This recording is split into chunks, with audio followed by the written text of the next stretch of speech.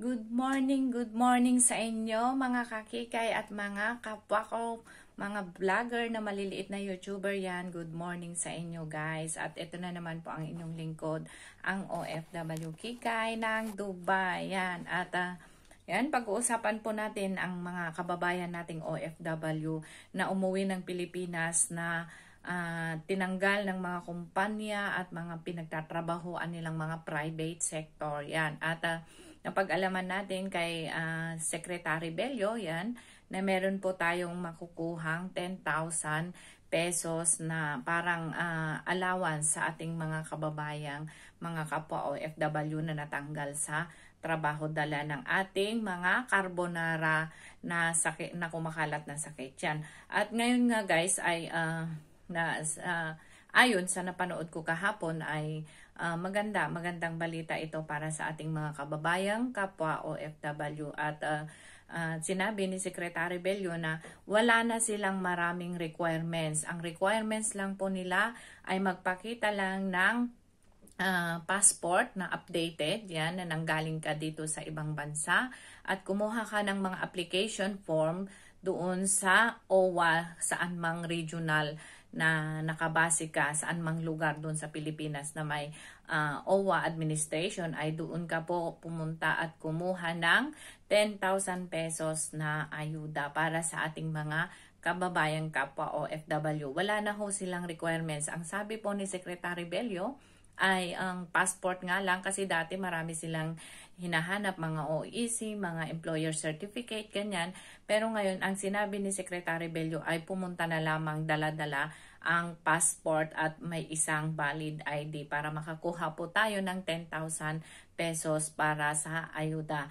At pag-uusapan din po natin yung mga kababayan nating OFW na na-stranded din sa iba't ibang bansa. Yan, pwede hong uh, pumunta guys, lalong-lalo na po sa mga uh, distress worker, distress OFW.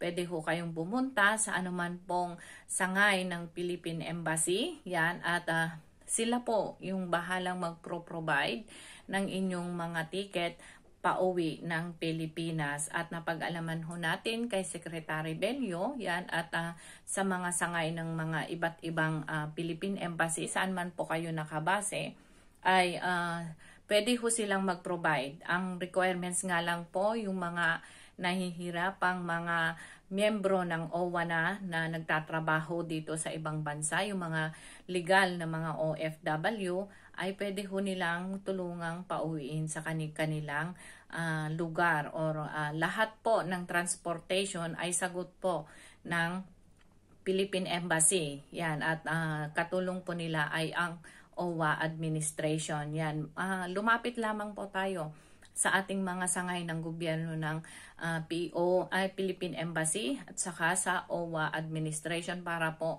may dokumento nila at pwede ho tayong makahingi ng tulong upang makauwi sa ating uh, sariling bansa. At uh, yun na nga po, ang, ang valid lang po talaga na sila yung gagastos sa transportation, hotel, accommodation, pagkain, swab test, lahat-lahat ay sagot yan ng ating mahal na Pangulo.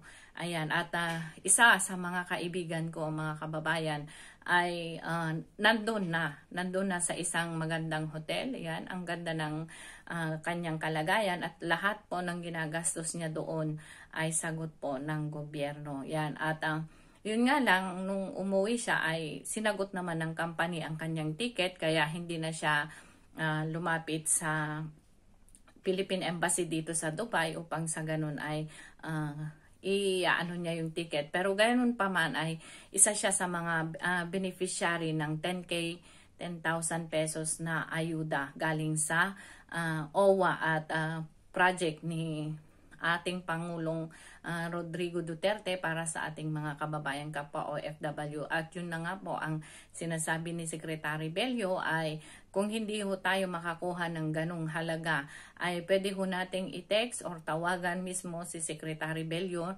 nandun ho sa vlog ni uh, Mocha Uhuson yung kanyang ah, private number at pwede ho natin isumbong kung hindi ho tayo makakuha ng 10,000 pesos ayuda. Huwag daw po tayong maniwala sa sabi ng ah, mga OWA regional na wala na ho silang pondo.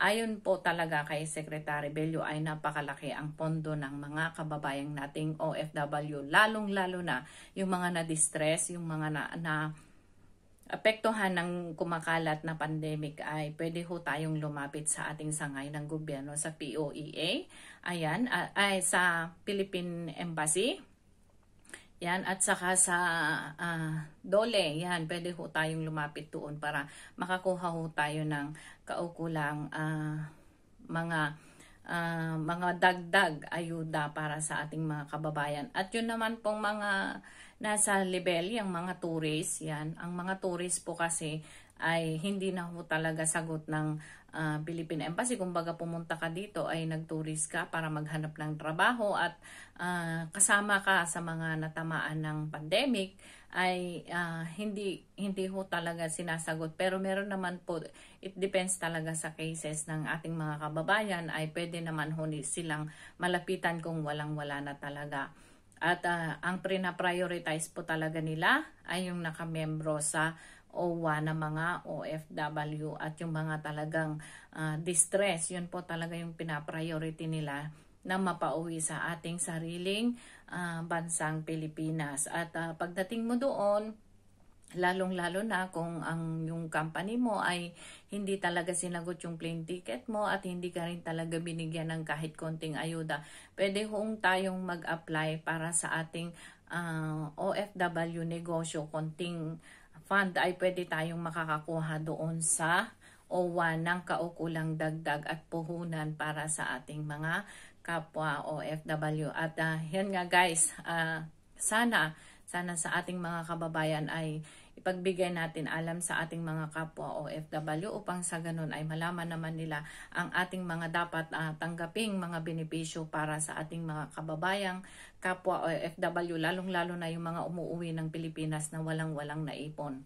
Lalong-lalo na yung hindi natin inaasahan na ah, ganitong sitwasyon ay makauwi ka ng Pilipinas na talaga namang ah, wala kang makakapitan, wala kang magiging umpisa para sa iyong ah, pamilya dahil hindi naman ho natin kagustuhan na mangyari sa ating mga ganito.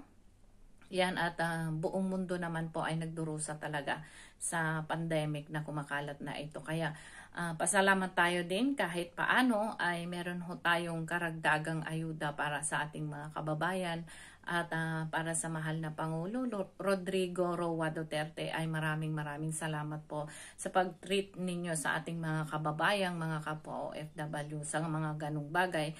Bagamat hindi man ganon kalakihan ay malaking tulong na ho sa ating mga kababayang nangangailangan ang 10 pe- 10,000 pesos na ayuda galing sa OWA sa mga ating mga kababayang umuwi na ah, hindi pinalad dito sa ibang bansa.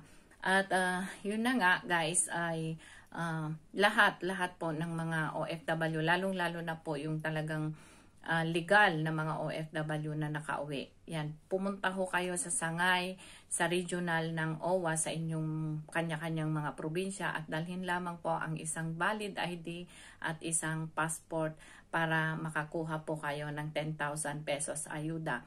Ah, sabi nila it takes 3 days lang. Sabi ni Secretary Bello ay it take 3 days para ma-release at ma-approve yung ah, 10,000 pesos na ayuda galing sa ating ah, mahal na Pangulo. At ah, yun nga, sana, sana all ay matulungan tayo ng ating ah, Presidente. At magandang magandang hapon sa inyo guys. Ito na naman ang inyong lingkod, ang inyong OFW Kikay ng Dubai. Share po natin para naman sa ganun ay ma- ma- malaman ng ating mga kapwa OFW na nangangailangan at malaking bagay na rin ho ang 10,000 pesos lalong-lalo na sa mga kapuspalad na mga kapwa ko OFW. Kaya mabuhay po tayong lahat.